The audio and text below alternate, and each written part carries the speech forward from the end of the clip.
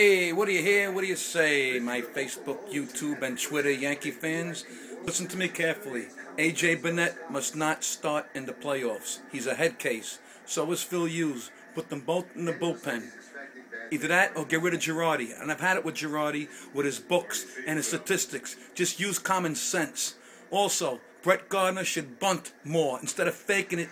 He's got a bunt. He's got the speed. He knows how to bunt. Just bunt. What's the problem? Okay? So there's your starting rotation for the playoffs.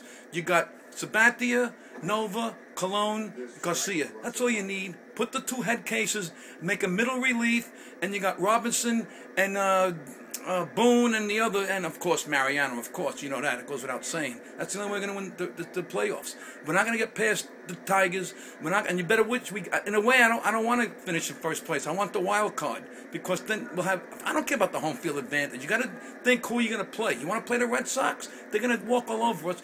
If Burnett and the other psycho hit or miss, what's his name, Phil Hughes, then mental cases. We don't need these people starting in the playoffs. Listen to me. Listen to me. Let's go Yankees.